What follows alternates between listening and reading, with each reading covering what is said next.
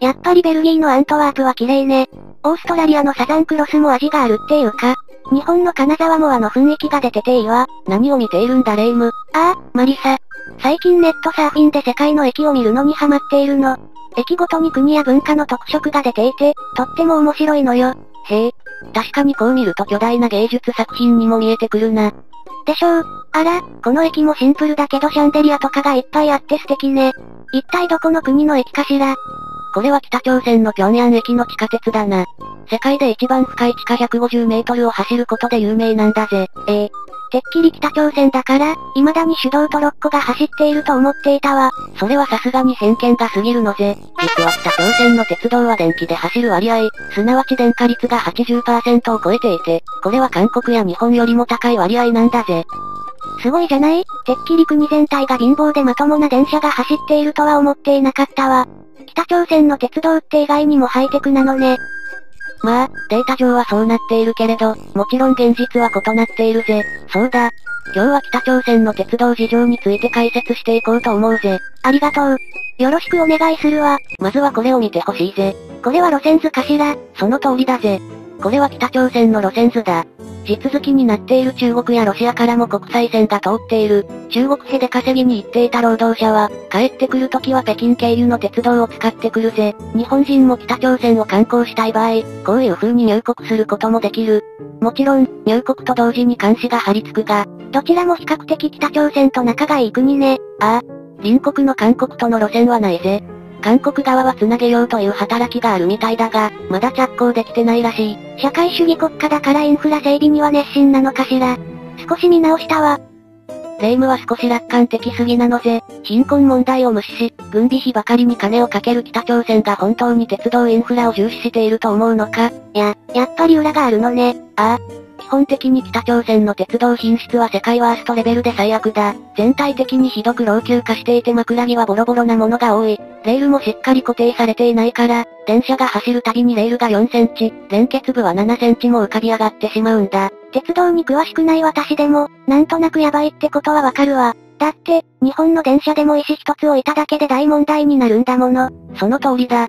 口述するが、それが原因で1000人単位が被害を被った痛ましい事故もある。さらには時速 50km 以上では走れないし、重い貨物車が走ればレールが潰れてしまうくらいの劣化ぶりだ。自分の命を預けるにはあまりにも危険すぎる乗り物だぜ。北朝鮮は整備しようと思わないのかしら？だって、インフラってとっても大切なものでしょう。国が軍事で金を食い潰してしまうからな。安全よりもロケットだ。それに加えて貧しい地元民が、勝手にレールを固定する部品、犬釘を抜いて鉄くず業者に売ってしまっているケースがあるんだ。貧窮の悪循環で、ますます安全性が損なわれていくというわけだぜ。食うものに困ってやってしまう犯罪は責められないわね。2019年度の北朝鮮の推定軍事予算は75億ドル、約8100億円と言われている。もしこの少しでも鉄道事業に回していたら、もっと安心安全のインフラが築けるはずなんだけどな。かわいそうなのは国民ね。プライド捨てて、外国にお願いすることはできないのかしら。そもそも、北朝鮮初の鉄道は1900年の日本統治時代に作られた京陰線、だ。その当時、大日本帝国は現在の朝鮮半島にある豊富な資源を獲得するために、鉱山の開発や重工業を発展させ、それに伴い鉄道インフラを整えたんだ。1906年には、キョンウィ線、1910年にはキョンナム線が開通し、その後も鉄道は伸び続けていった。1926年には日本政府が朝鮮鉄道の12年計画を発表し、鉄道建設ブームが巻き起こったんだぜ。まさに朝鮮半島鉄道創世期ね。もしかしたら、今よりその時の方がインフラは良かったんじゃないの？そうとも言えるだろうな。しかしその後、これらの鉄道は破壊されることになる。どうしてだと思う？えー、っと。もしかして、朝鮮戦争、察しが良いな。その通り、1950年に始まった朝鮮戦争が原因で、朝鮮半島は戦火に包まれた。戦争時、物資を大量輸送できる鉄道は大事な補給線になる。だから、多くの路線が破壊されてしまったんだ。ひどい。けれど、それが戦争なのよね。南北が分裂し、正式に朝鮮民主主義人民共和国になってから、北朝鮮は鉄道を重視したんだ。同じ社会主義国家の中国、ソ連、東ドイツから技術を学び、独自の機関車や路面電車を作っていたんだぜ。その時は非常に鉄道を重んじていたんだが、今じゃこのありさまね。現在も新型機関車を開発しているそうだが、まだまだ数が少なく、国民に還元されているとは言い難いな。それに、レールの整備についてのニュースはほぼないし、早く北朝鮮の皆さんが、安心して乗れるように願っているわ。さあ、ここからはさっき話したように、この劣悪な品質のせいで起きてしまった事故について解説していこうと思うぜ。なんだか嫌な予感がするわ。だって、徹底的に安全を追求している日本の鉄道でも、一度脱線したら100人単位の人間が亡くなるって聞くし、JR 福知山線脱線事故のことだな。当時は乗客と運転士を合わせて107名が死亡、562名が負傷したんだ。しかし、北朝鮮は100人程度では済まない。600人、最悪の事故だと数千人が亡くなったんだ。数千人、たとえテロリストがわざと事故を起こそうと思っても、こんな被害にはならないわよ。そうだ。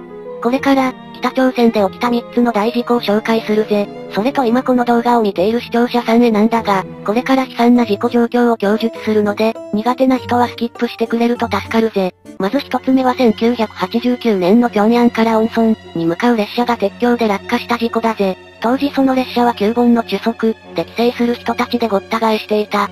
乗車率は100を超え、屋根の上まで乗っていたそうだぜ。まるでインドの鉄道みたいね。しかし、列車がプンジョン、駅を出て、ソンネ、駅の直前にある鉄橋に差し掛かった時、急転覆死後用の車両が谷底へ真っ逆さまに落ちたんだ。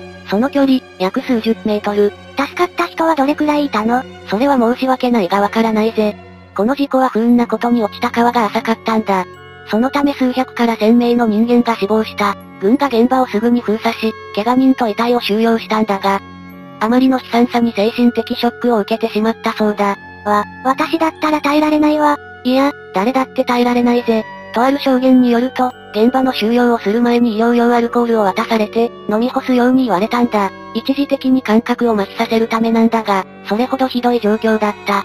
頭部が半分吹き飛んでいたり、機械に下敷きにされて潰れていたらしい。まるで地獄ね。次に紹介するのは、1996年のチャガンドのマンポからピョンアンナムドのスンチョンを結ぶマンポ線で起きた事故だぜ。この路線はピョンヤンへ続く重要な路線なんだ。事故が起こった16、15号列車は、事故の直前停電の影響で1時間遅れでマンポ駅を出発。全部で12両だったんだが、遅れのせいで乗客がすし詰め状態だったらしい。兵士や商人など、いろんな人が乗っていたそうだ。ちなみに、この時も屋根の上に登っている人がいたぜ。すでに嫌な気がするわ。この路線にはケボケという、いわゆる難所と呼ばれる場所があった。トンネルと急勾配が連続し、二つの機関車で牽引とスピード調節をしなくては進めなかった。もちろん、危険性を認知していて、万が一ブレーキが効かなくなった時、わざと脱線させて事故を防ぐ安全装置も十分に設置されていたんだ。じゃあ、なんで事故に？老朽化だ。日本統治時代からほとんど整備されておらず、レールも枕木もボロボロだった。毎年2件は事故が起こる危険地帯だったが、当局は予算不足から修理を行わなかったんだぜ。その当日も機関車を含めて14両編成で運行するはずだったんだが、機関車不足で後方の機関車なしで運行することになってしまった。その時は車両が12両と機関車1両で、合計13両だったのね。運転士は自分の腕を信じて運転するしかなかった。しかし、さらにもう一つ事故の要因が加わる。本来なら 3300V の直流電流が流れるはずだったのが、電力不足で2000から 2300V しか得られず、十分な性能が発揮できなかったんだ。悪条件が重なりすぎているわね。これはどれほど熟練運転士でも事故するに決まってるわよ。実際、途中まで問題なく運転できていた。しかし、トンネルを何個か通過した時にブレーキから空気が漏れて制御不能になる。急な下り坂で列車は加速し、通常よりも高速で線路を走ったんだ。運転士は焦っただろうが、乗客は異常事態にも気づかず、このスピードなら朝までに帰宅できる、と喜んでいたみたいだぜ。運転士以外は誰も異変に気づいていなかったのいや、屋根の上の人たちは気づいた。だけどスピードが速すぎて飛び降りることもできなかった。運転士は努力したものの事態を好転させることはできず、客車は崖から転がり落ちた。数百メートルも落下していったぜ。累計死者数は約5000人だ。5000人って、戦争規模じゃないちなみに運転士は生きていたぜ。それは良かったわね。一人でも生き残った方がいいわ。いや、その後に責任を問われ、ケチョン、鉄道総局の司令長、現場の鉄道隊長などの7人と一緒に死刑になった。むちゃくちゃじゃない？そもそも、北朝鮮政府がケチったからでしょう。そうだ。でも、責任は誰かが取らなくてはいけない。政府は現場に押し付けた形になるな。これはいくらなんでもかわいそうだわ。最後は少し毛並みが違うぜ。軍需工場の17号工場という場所がある。ここは火薬を製造する工場なんだが、製造した25トンの火薬を積んで停車していた貨物列車に火がついたんだ。他の工場へ行く通勤客もそれをやじ馬していたんだぜ。なんで火のついた火薬を積んだ列車をやじ馬したのかしら？そしてちょうど通勤列車が到着した時に大爆発が起こったんだ。駅舎は粉々になり、近隣住宅地も吹き飛ばされた。死者数は約3000名で、傷者は1万名にも上る最悪の事故になったぜ。最後のは鉄道とはあんまり関係ないような気がするけど、ちゃんと安全に配慮してればこうならなかったはずよね。紹介した3つの事故は、独裁体制からなる人命軽視によるものだろうな。いかに軍事に金を注いで力を誇示しても、GDP は1兆8000億と鳥取県並みで国民の生活は最低だ。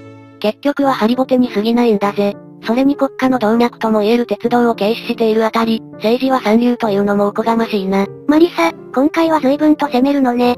でも、確かにインフラは国家が最低限保障しなくてはいけないことだわ。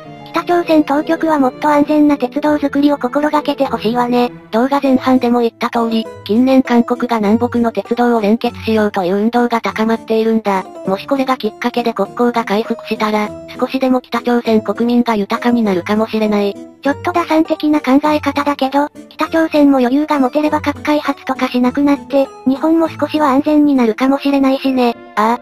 北朝鮮の鉄道に良い変化が起こることを祈るばかりだ。というわけで今回の動画は以上だ。ご視聴ありがとうございました。